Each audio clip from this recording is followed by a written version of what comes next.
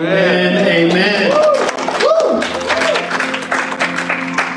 Oh, I'd say uh, give your neighbor a hug, but don't. We'll get kicked out of this place. But I feel like we could have one of those moments. Yeah, give your spouse a hug. That's a good thing right there. Uh, y'all can uh, can grab a seat, worship team. Thank you. Man, I, uh, I missed you guys last week. I did. Uh, our, our, family was um, was down uh, doing a, a, funeral service for somebody, and I, I just I miss my church. I love my church family. I'll tell you what. Well, I'm so glad you love me. I feel I feel better that we had that moment right now. Hey, if I haven't met you, my name is Michael. I have the privilege of uh, serving as the pastor here, and I have a, a, a word. And when I say a word, I mean I've been reading through the Bible, and I believe that there's it's profitable for every single moment, but I think particularly today, uh, there's something pretty good in this uh, that I'm like. Some messages I can find, like I'm just ready to share that I gotta hold on for a second. I gotta do a little bit of housekeeping before we dive in, but I'm t- just buckle your seatbelts. Get ready for it. All right. So, uh, real quick before we uh, dive into the word, uh, every single year since our church has started, so this will be our fourth year doing this. Uh, we've done in the month of January what we call a three-day breakthrough. And it's just at the beginning of the year, we carve out a three day period where we do prayer and fasting to really set ourselves up for whatever God would have during the year. And uh, as, as pastor, I have this, you know, sometimes I'm more preacher, sometimes it's more shepherd. Let me just shepherd you guys for a moment before we dive into the text. Prayer and fasting will change your life. It absolutely will. It's not the, the sexiest thing to preach on, but I'm telling you, if you get the discipline of prayer and fasting into your life, it will transform you. And so if you're looking for God to do something in your life this year, Join us for this three day breakthrough. Now, if you don't, I'm not saying like God's going to smite you by any means, but what I am going to say is if you show up with great expectation, I believe that God is going to meet you there. Amen? Amen. So, on January 27th, 28th, and 29th, that'll be our three day breakthrough. Uh, we have different online resources that'll be sent out to you. There'll be a reading list, there'll be a prayer list, and we're also going to gather on those three days right here in this room at 6 a.m. Come on. If you're an early person, you'll love it. From 6 6 a.m. to 7 a.m. on those three days, Wednesday, Thursday, and Friday, we're going to pray and worship in here for an hour. And I would encourage you to the fullest that I can, join us for that. Something's going to happen during that time. Uh, if you're uh, an online family member of ours, we'll be streaming it as well, so we'd love for you to join us for it. But that'll be happening on the 27th, 28th, and 29th. If you want more information, head to our website, therise.church. Right on the homepage, there's a three day breakthrough little spot click learn more, and I would love for you to join us for that. I think I hit that pretty good. Everybody got that now? All right, let's dive into this. Um, we are in a series right now called Do It Like This, where we are looking at the Lord's Prayer. And I just want to start off reading it, and then we'll recap a little bit, and then I'll share what I, I think the Lord has for us this morning.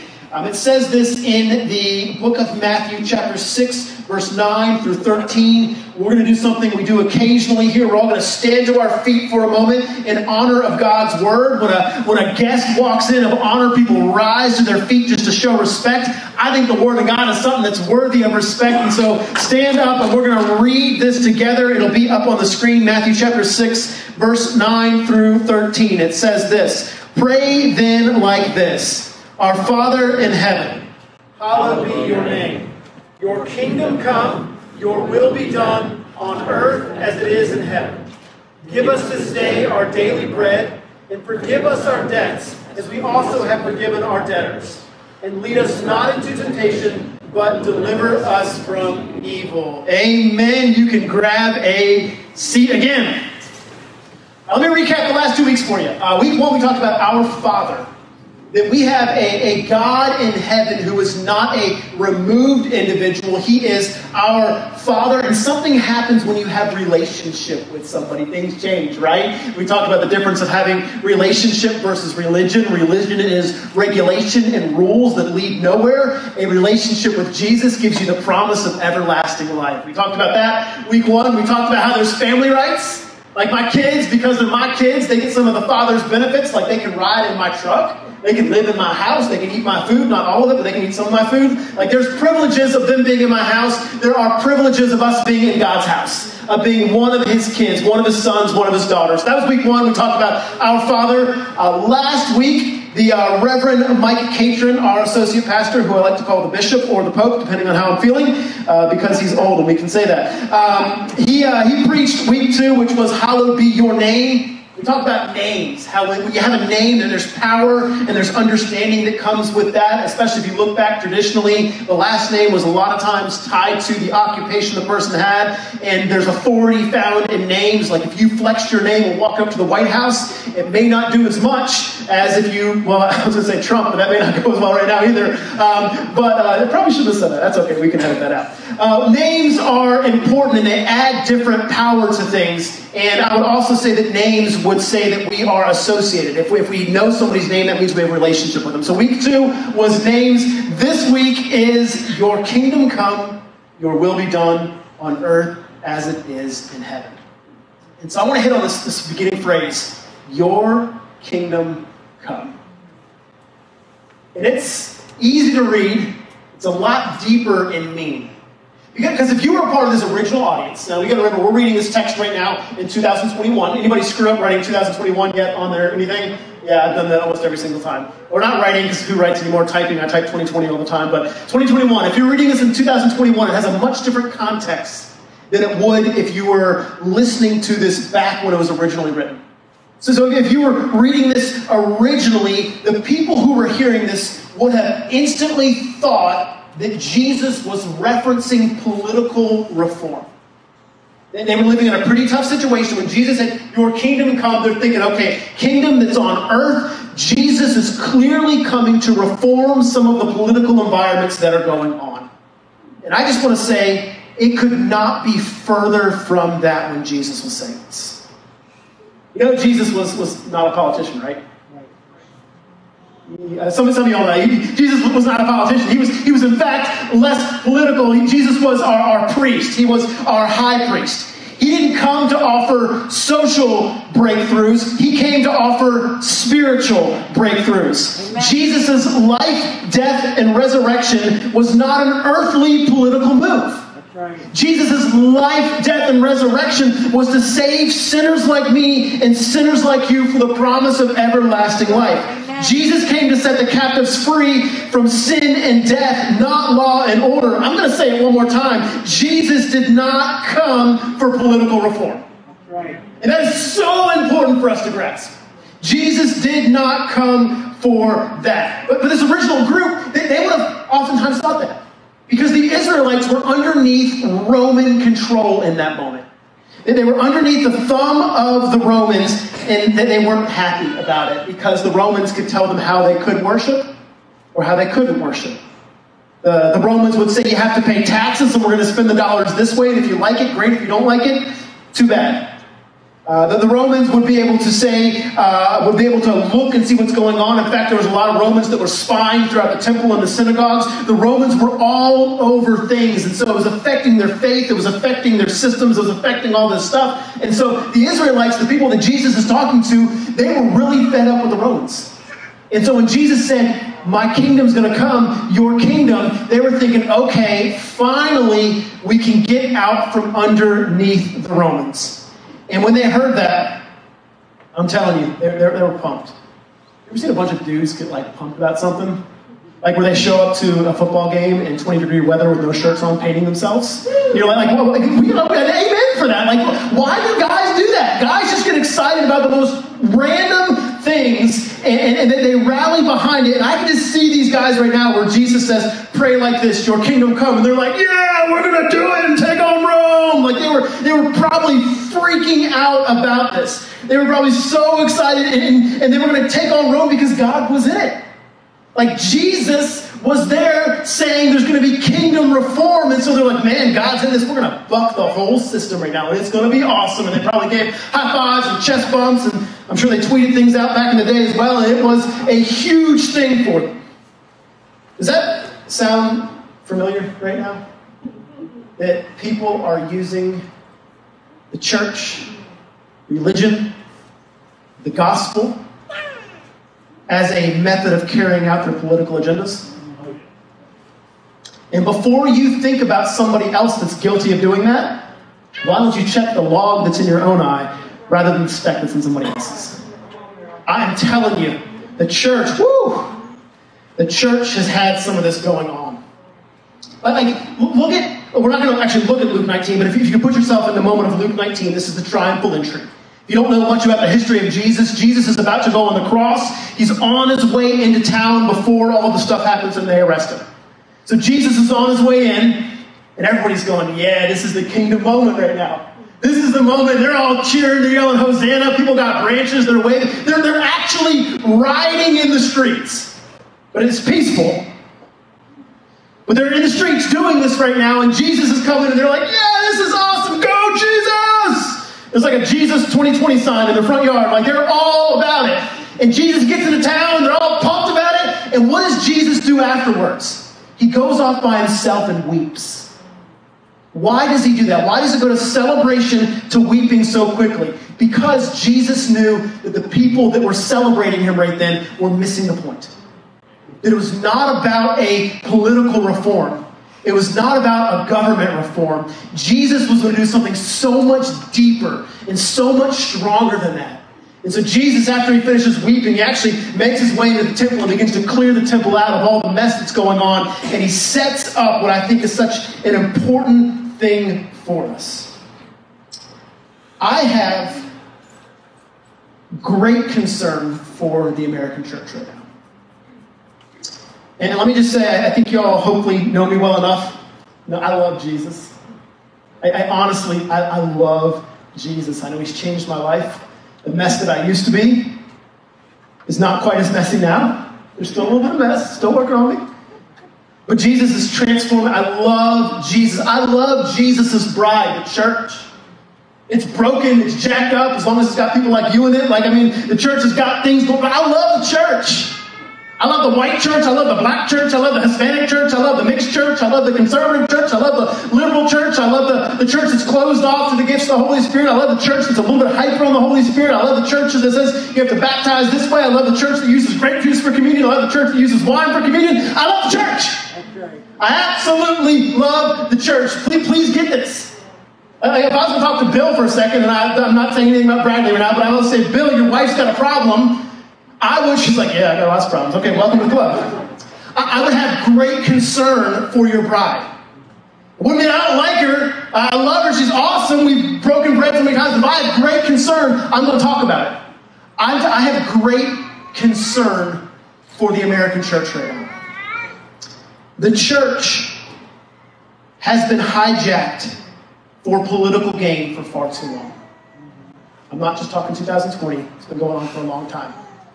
The right, the left, the middle of the road, the off the road, the whatever the new cool political title is, the church has been hijacked. And, and I think politics are important. And I, I, believe that the Bible gives us different guidelines on how we should approach different political issues, and that they are so important. Please vote. I hope you did. I am all about it. I have my own views. They're different from some. They're same with the other. Like I think political um, uh, politics are important, but I want to tell you that Christ's kingdom is incomprehensibly more important. Amen.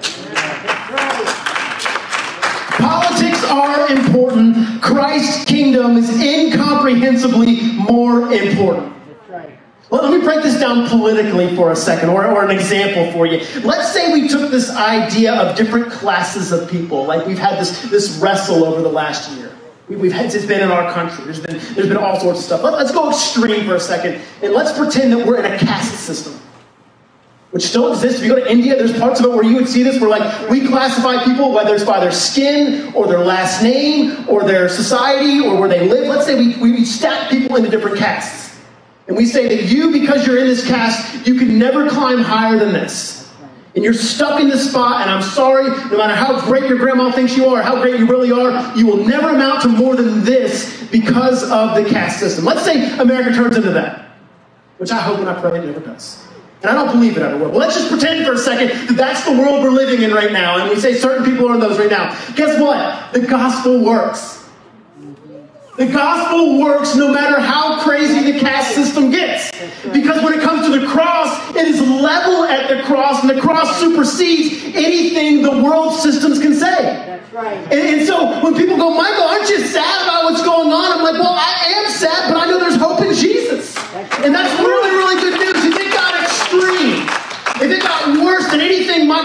Could ever imagine, the gospel would still work. And I would actually argue that if you look in India, the gospel is even going forth faster than it is in America. It's almost like persecution causes things to spread. Maybe we don't want to talk about caste system for a second. But let's, let's talk about like, like communism. Right, let's talk about like everything is set. Everybody gets the exact same amount of money. You get a government house, government everything. It's all set up to where it's equal for everybody. And I'll share my uh, own personal views later on that. But let's just pretend we're living in a communist country. America has become communist, which I, I hope and pray it never ever does. What happens? The gospel works. The gospel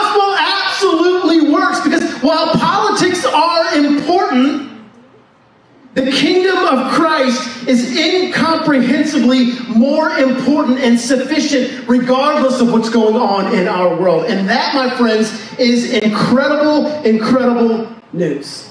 That's right. Christ came not to lay down the law and say it's going to be this way. Christ didn't come to say it's got to be like this, it's got to be like. No, Christ came to lay down his life. Christ didn't come to stir up a bunch of things except for in the church with all the religious people. Christ came to lay down his life in love. And when he said, Your kingdom come, he wasn't referencing a political agenda. He was referencing the kingdom that's going to last for all of eternity. And I'm just, I'm going to talk to myself for a moment. There's so much temptation for me to get caught up in whatever news segment is saying that a, that a particular person should take a stance on, and I'm done with it. Yep. I'm absolutely done with it because I know the gospel is more important than any of that other mess. And my hope and my prayer is for our church and the church that we wouldn't fall into this trap. We would not fall into the trap because social reform can lead people to hell. It really can. Like I, am I'm for certain social reforms, but it's not going to get you uh, uh, Christ's salvation. No. Social reform is not going to forgive you of your sins. No. It's important, but it's nowhere near as important as the gospel is. Anybody with me right now? I want to say amen. amen. So then we get into the second part where it says, "Your kingdom come, your will be done." So many people are like, "Oh, Michael, what's God's will for my life?" Only I knew what God's will was for my life. Can I just tell you, God's will is not that complicated? It really is not that complicated. It is, it's, it, we, we just struggle to follow what it is. I want to give you some conversations I've never had. Um, I've never had a man come to me and say, Michael, I was on, I was on Facebook the other day, and I saw, saw an ex-girlfriend. She had a really cute picture, and I just, I'm praying right now whether I should leave my wife. I just, I really want to know God's will. Am I supposed to abandon my marriage and embrace this relationship right here? I just, God, would you show me your will? No I've never had, no one's ever said to me, Michael, I, taxes are coming. I just, it might be God's will for me to lie on my taxes. I really, really think that God is leading me to be dishonest. I'm just, would you pray for me that I would figure out what this is? The problem is not that we don't understand God's will. The problem is that we refuse to walk in it sometimes. The problem is that we lack the discipline. We read things that goes in one ear, but it doesn't actually transform how we walk. God's will is not near as complicated as it sounds. Let me read to you God's will from 1 Thessalonians. Chapter 5, it says, Rejoice always. Yep. Come on, find joy Yeah. no matter who's in the office. Yeah. Finding joy no matter what's happening downtown. Finding joy no matter what the diagnosis is. Right. Finding joy in every single situation. Verse 17, pray without ceasing. Pray all day, every day. That doesn't mean close your eyes and walk around like this, but it means, God, would you lead me in this moment? God, would you give me grace in this moment? God, would you help me navigate this moment? God, I, I'm really struggling here. Would you give me, give me some of your power right now? Pray without ceasing. Give thanks in all circumstances. Oh, I could preach all of 2021 on that, but I won't right now. This is the will of God in Christ Jesus for you. There's a little bit of God's will right there. Don't quench the spirit.